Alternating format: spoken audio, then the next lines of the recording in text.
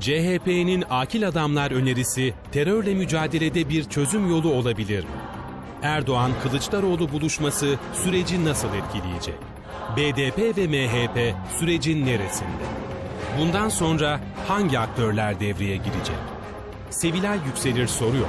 Kürt siyasetinin en etkili ismi Ahmet Türk, AK Parti Milletvekili Mehmet Metiner, CHP Parti Meclisi üyesi Mesut Değer ve yazar Kemal Burkay canlı yayında yanıtlıyor.